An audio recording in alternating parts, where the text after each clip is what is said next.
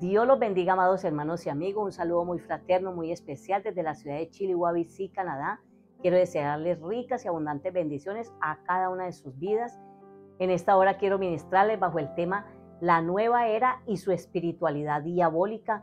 Y vamos a leer el libro del profeta Oseas, capítulo 4, versículo 6. Dice la palabra del Señor, honrando al Dios Trin. Mi pueblo fue destruido porque le faltó conocimiento. Por cuanto desechaste el conocimiento, yo te echaré del sacerdocio, y porque olvidaste la ley de tu Dios, también yo me olvidaré de tus hijos. Damos honra y gloria a nuestro gran Dios. Gloria al Señor. Hoy vamos a ver a la luz de la palabra de Dios esta filosofía diabólica disfrazada de piedad para engañar a la humanidad. Esto es un fenómeno mundial basado en el espiritismo, en el humanismo y religiones místicas orientales y los que no están bien con Dios, pues el enemigo le es fácil arrastrarlos a lo profundo del abismo. Por eso el Señor nos lo advierte aquí en el libro de Oseas, capítulo 4, verso 6, que su pueblo fue destruido por falta de conocimiento, por lo cual hay que escudriñar la escritura para conocer la verdad, como dice Juan capítulo 5, verso 39. Vamos a mirar de dónde proviene y cómo ha entrado en la sociedad a la luz de las escrituras la nueva era, cómo se ha originado. Esta nueva era se originó en un diálogo en el huerto del Edén con la serpiente. Si usted lee Génesis capítulo 3, va a encontrar todo el relato bíblico donde Satanás se disfraza de fundamento, le dice a Eva que podían comer del árbol de la ciencia del bien y del mal, que no morirían, que serían como Dios, o sea que ellos mismos serían su propio Dios, que sus ojos se abrirían y que ellos mismos podían decidir lo bueno y lo malo. El origen de la nueva era en nuestra sociedad del siglo XX se remonta aproximadamente en el año 1875 a través de una sociedad teosófica quienes eran espiritistas y querían tener conocimiento de la divinidad sobre este mundo mediante prácticas esotéricas, ocultistas, en fin. Esa sociedad era una mezcla de ocultismo y misticismo oriental. En esta sociedad teosófica estaba la masonería, y fue quien precisamente la fundó y al pasar el tiempo se fue extendiendo con fuerza por todo el planeta Tierra y obviamente con el apoyo de los masones, de la masonería. Esta idea desarrollada en el Oriente llega a nosotros por medio de prácticas aparentemente inocentes, inofensivas, pero que afectan la salvación del alma, cosa que muchos lo desconocen, no lo saben, pero para eso se predica el Evangelio de nuestro Señor Jesucristo para conocer la verdad y ser verdaderamente libres de la esclavitud del pecado y libre de las garras del, enemigo de nuestras almas. La nueva era no es la libertad que proclama la Biblia. La nueva era tiene cuatro pilares básicos que son la masonería, el gnosticismo, el espiritismo y el paganismo oriental. Y no es desconocido como la nueva era ha sabido infiltrarse en la sociedad a nivel mundial, como lo ha sido, por ejemplo, en la literatura, en la música con letras subliminales, está infiltrada en las religiones, en la iglesia católica, está instalada en el mismo Vaticano, la encontramos en la parte audiovisual, las terapias alternativas, el horóscopo, en las novelas, en el cine, por ejemplo, hay infinidad de películas relacionadas con el espiritismo, la brujería, la hechicería, em, el terror, lo fantástico, lo imaginario, poderes paranormales. Un ejemplo de ello lo tenemos en la tabla Ouija, la guerra de las galaxias, películas de ciencia ficción, en los avatares, etcétera, etcétera, etcétera, en todo este mundo de también tecnológico que se mueve en este momento actualmente. El apóstol Pablo dice en Gálatas capítulo 1, verso 6, estoy maravillado de que tan pronto os haya alejado del que os llamó por la gracia de Cristo para seguir un evangelio diferente. Ellos promueven sus prácticas como algo sagrado. Ellos tienen ese, ese evangelio diferente del cual habla el apóstol Pablo y su propósito es erradicar el temor reverente de Dios en el corazón del hombre por falta de conocimiento bíblico. En el trasfondo de esta filosofía muchos dicen que eso no es malo porque se habla del amor, de la felicidad, de la luz, de la paz, de la prosperidad, en fin, etcétera. Pero la Biblia nos advierte en segunda carta de Corintios capítulo 11 verso 14 y dice la palabra y no es maravilla porque el mismo Satanás se disfraza como ángel de luz. Este movimiento es difícil de definir porque no tiene estructura religiosa ni un dirigente visible. Eso sí, se gana la simpatía de todo el mundo, tanto del niño como del adulto y en cualquier área de la vida porque tiene actividades y programas para todos los gustos y preferencias. La nueva era entró en todos los ámbitos distorsionando la visión del ser humano dejando a Dios de lado y centrándose exclusivamente en el hombre. A esta realidad nos enfrentamos hoy, así que la nueva era es algo muy pero muy peligroso. Y no es tan fácil dar un listado de todas las creencias de esta malsana doctrina porque son muchas las cosas que surgen cada día en relación al tema. Pero a continuación resumiré las siguientes. En primer lugar, ellos hablan que se viene la era de Acuario, luego pasa la era de Pisces y que será un tiempo de paz y armonía y buscan acelerar todas esas técnicas de eras con el propósito antibílico y diabólico de inculcarle al ser humano que no existe Dios fuera del hombre. Por ello hoy día cada hombre envuelto en esta doctrina demoníaca cree su propia verdad, a tal punto que ya no existe verdades absolutas, ni el bien ni el mal, cumpliéndose así la palabra de Dios escrita en el libro de Isaías capítulo 5 versículo 20, cuando él dice, hay de los que a lo malo dicen bueno y, lo, y a lo bueno dicen malo. Como punto número dos, la nueva era dice que todo es Dios y Dios está en todo. De esta manera el universo y la naturaleza también son divinos. Número tres, dicen que no hay religión verdadera, todas son iguales, todos los caminos conducen a Dios, afirman, afirmación totalmente falsa. Número cuatro, y Creen en la reencarnación, creencia totalmente antibílica. Según ellos, el hombre vive muchas vidas hasta que se disuelva en el cosmos. No se arrepientan y verán y se vuelvan a Dios, que se disolverán en las llamas del infierno. Santo el nombre del Señor. El propósito de estas prácticas es alcanzar la perfección espiritual, según ellos, ese estado espiritual que ellos llaman nirvana, o sea, la suprema realidad. Nirvana en las religiones de la India es un estado resultante de la liberación de los deseos de la conciencia individual que se alcanza mediante la meditación y la iluminación. Vamos a ver algunas de las principales disciplinas y prácticas de la nueva era y estas son. Número uno, Reiki. Ese Reiki es un tipo de medicina alternativa japonesa considerada como pseudoterapia englobada dentro de las terapias de energía. Número dos, la meditación trascendental. Esta es una técnica de meditación basada en la repetición de mantras y la diferencia que hay en otras formas de meditación es que los practicantes repiten en un total silencio y se concentran en un mantra personal durante el tiempo de la sesión. Y un mantra es en el hinduismo y en el budismo una serie de sílabas, palabras o frases sagradas que se recitan para invocar los dioses, dioses con D pequeña, dioses paganos como apoyo de esa meditación, pero jamás se hace para el Dios del cielo, para el verdadero Dios de dioses, a Él sea toda la honra y la gloria. Recuerde que todo esto tiene origen oriental y ellos enseñan que Dios es una forma de energía y puede estar en todo y que en el momento en que se consigue alcanzar esa energía mediante la meditación, la persona pasa a ser Dios dueño de su propio destino. Póngale ahí cuidado a este asunto. Así que si un llamado cristiano tiene tales prácticas, en vez de acercarse a Dios, se estará alejando cada día más y más de su presencia, porque Dios condena y aborrece, tales obras que son del reino de las tinieblas. Deuteronomio capítulo 18, versículo 9 al 12, mire lo que dice la escritura.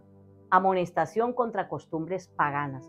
Cuando entres a la tierra que Jehová tu Dios te da, no aprenderás a hacer según las abominaciones de aquellas naciones no se ha hallado en ti quien haga pasar a su hijo o a su hija por el fuego, ni quien practique adivinación, ni agorero, ni sortílego, ni hechicero, ni encantador, ni adivino, ni mago, ni quien consulte a los muertos, porque es abominación para con Jehová cualquiera que hace estas cosas, y por estas abominaciones Jehová tu Dios echa estas naciones delante de ti. Versículo 13 dice, perfecto serás delante de Jehová tu Dios, Padre Santo. Y en Levítico capítulo 20, versículo 6, dice la palabra lo siguiente. Vamos a leer. Y la persona que atendiere a encantadores o adivinos para prostituirse tras de ellos, yo pondré mi rostro contra tal persona y le cortaré de entre su pueblo. Padre Celestial.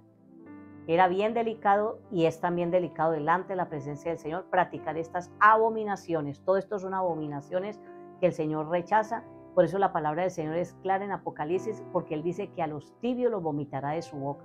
Si somos pueblo del Señor, tenemos que estar consagrados, tenemos que estar rendidos delante de la presencia del Señor, caminando con temor y temblor y echando fuera todo esto que, nos, que, que está a nuestro alcance, que está tan moderno, que nos dicen que es bueno, pero sabemos que es malo por la palabra del Señor. También tenemos la astrología, que esto tiene que ver con la adivinación Y Dios, ya hemos leído, aborrece tal práctica. Si usted lee, por ejemplo, el primer libro de Samuel capítulo 28, ahí usted puede encontrar, y le invito a ver el video del rey Saúl y la pitonisa de Endor, por acá lo coloco, para que usted pueda mirar y entrar y escuchar el mensaje de la palabra del Señor. Donde aparece el rey Saúl consultando a una divina de la ciudad de Endor, una práctica que Dios había y ha prohibido consultar a, los muertos. Hemos estado leyendo aquí. Bendito su nombre para siempre, pero hay personas que reinciden y, persisten en el pecado. También tenemos, ellos eh, practican el yoga y el yoga está de moda y enseña a alterar el estado mental para huir del mundo físico con el fin de reunirse con Brahma, es decir, el dios creador hindú, con la posibilidad de llegar a ser un dios. Y junto con la meditación trascendental, el yoga usa los mantras, que la repetición de sonidos, de frases, según ellos ayudan a alcanzar a nirvana, o sea, la liberación tanto del sufrimiento como de la conciencia humana. Mira lo único que nos puede hacer libre de toda esta atadura y yugos del maligno es Jesucristo, el Hijo de Dios. Él es el único capaz de romper todas esas cadenas, derribar todas esas fortalezas que el enemigo ha levantado contra su vida, que ha hecho cosas eh, que usted ni siquiera se las puede imaginar y lo tiene tal vez atado y atada y el único que lo puede hacer es el Señor. Derrotar toda esa obra de las tinieblas que atormenta nuestra vida. Otro detalle es que el yoga dice que puedes seguir practicando tu religión creyendo en el Dios que te parezca. Y como la gente busca soluciones eh, a sus necesidades en cualquier ídolo, eh, ya sea un muro, un animal, las mismas plantas, muchos se, se, regocijan es allí. Ellos tienen la planta de la buena suerte, la planta para esto, la planta para aquello, la planta para lo otro, en fin, esos son sus dioses. También basan sus necesidades y ponen la mirada sobre los objetos, las estrellas, según ellos tenemos conciencia universal, energía universal, cae para muchos como anillo al dedo, claro está, y al fin de cuentas, para los de la nueva era, Dios es solo una forma superior de energía, energía cósmica, y no es una divinidad personal. Otra práctica es control mental una técnica variada o conjunto de técnicas que pueden servir para suprimir la personalidad de la persona y controlando y anulando su libre albedrío que Dios nos ha dado para hacerlo dependiente de lo que dice otra persona u organización, sea que ellos son esclavos de una persona o de una organización. Todo esto suele ser demasiado peligroso para la salud espiritual en vez de ser luz, suele ser un mundo de oscuridad y tinieblas en el que se eh, sucumben las personas. Satanás, que el Señor lo reprenda, es astuto, sagaz, sutil y sabe cómo entrarle a la gente. Él jamás se va a mostrar, se va a presentar horrible como lo pintan por ahí, no. Recuerde que se disfraza como un angelito bueno de aparente luz y todo esto que usted puede imaginarse, nadie va a sospechar que por ahí está el enemigo, por que el Señor lo reprenda, pero es puro engaño y falsedad. Otra práctica es el ocultismo y la santería. El santero es aquella persona que tributa un culto supersticioso, idolátrico a las imágenes. Todo este mundo del ocultismo del reino de las tinieblas, Dios lo, lo aborrece. Es abominable. Éxodo capítulo 20, versículo 3 al versículo 5, hay una orden de Dios en los diez mandamientos y dice, no te harás imagen, no te inclinarás a ellas, ni las honrarás. Mm, es una desgracia la idolatría. Dios castiga fuertemente todo esto, adoración de imágenes. Por eso Dios nos sacó de la ceguera espiritual cuando íbamos detrás de esas estatuas, de esos muñecos de yeso, de madera, de oro, de metal, creyendo que ellos eran Dios. Pura mentira del enemigo de nuestra alma. Allí no hay nada que seguir y menos que adorar. Lea el Salmo 115 eh, desde el versículo 4 al 8 y encuentra usted, amén, el título que dice Dios y los ídolos. Habla de las imágenes inanimadas y movimiento y los que lo siguen están muertos espiritualmente, perdiendo el tiempo delante de esas estatuas. Hay gente que no sabe ya a qué más estatua acudir, a qué santo acudir para que le responda a su petición, pero ¿qué le va a responder un muñeco de esos, por favor? Así andábamos muchos de nosotros ciegos, íbamos para el abismo, pero llegó Cristo a nuestra vida y nos abrió los ojos y nos dio vida espiritual y vida en abundancia. Damos honor y gloria a nuestro Dios que nos ha libertado. Y hoy vemos la gloria de Dios y miramos al Señor todos los días y Él sí nos responde, Él sí nos habla, Él nos da experiencias sobrenaturales, nos da sueños, visión, revelaciones, en fin. Esa es la riqueza espiritual que baja del cielo sobre nuestras vidas que antes no la teníamos. Y somos guiados por el Espíritu Santo para no tropezar. Aleluya, gloria a Dios. Otra de las prácticas es la gemoterapia. Son las eh, terapias con piedras preciosas y cristales. Cristaloterapia caracterizada por unas propiedades determinadas. Su finalidad es favorecer el bienestar y relajar el cuerpo como la mente, según ellos. Todo esto parece muy bueno e inofensivo, ¿verdad? Pero el equilibrio y la relajación la encontramos en la presencia de Dios, sin tener que acudir a nada de estas prácticas que llaman a los malos espíritus. Por ende hay mucha gente atada, hueca y vacía por más terapias que se hagan porque el corazón solo lo puede terapiar la presencia de Dios y su bendita palabra. Así que por más terapias que ellos se hagan, necesitan la presencia de Dios. El Señor dice en Juan capítulo 14, versículo 1, no se turbe vuestro corazón, creéis en Dios, creed también en mí. ¿Y para qué cree usted que se acude a todas estas cosas? Porque el corazón está vacío sin Dios. El corazón del ser humano necesita a Dios y la gente necesita ser feliz, la gente busca tener paz, tener bienestar, tener prosperidad, tener esto, aquello, lo otro. Pues para todas estas necesidades y mucho más hay que buscar primero el reino de Dios y su justicia y todo lo demás vendrá por añadidura.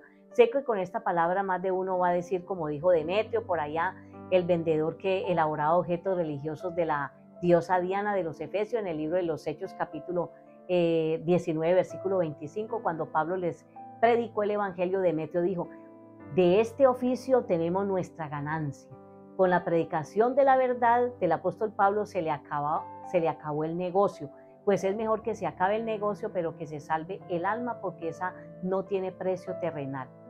Hay muchas prácticas más, pero voy a nombrar algunas que también competen dentro del grupo de lo de la nueva era y que son la proyección astral, que es la experiencia extracorporal, está el mileniarismo, está el método de Silva, que se basa en el control mental, el Xiaxu, está, eh, que es un canalizador de energía, está el Enneagrama, es un grafismo de estrella de nueve, un mapa de la mente humana, está la quiromancia, la lectura de la palma de la mano, lectura de las cartas, el Feng Shui, eh, ufología, el estudio de los objetos voladores, como conocemos todos como ovnis, está la terapia de constelaciones familiares, el chamanismo, angeología, zen, adivinación, eh, lotería, cromoterapia, terapia del color, etcétera, etcétera. Todo esto desvía la verdadera atención a Dios. El pueblo de Dios que ya ha sido redimido con la sangre de nuestro Señor Jesucristo debe tener mucho cuidado para no dejarse confundir y evitar insertar inconscientemente estas prácticas en la vida cristiana, porque hay personas que no, distinguen una cosa de la otra y creen que todo eso es bueno. No todo lo que brilla es oro, dice por ahí.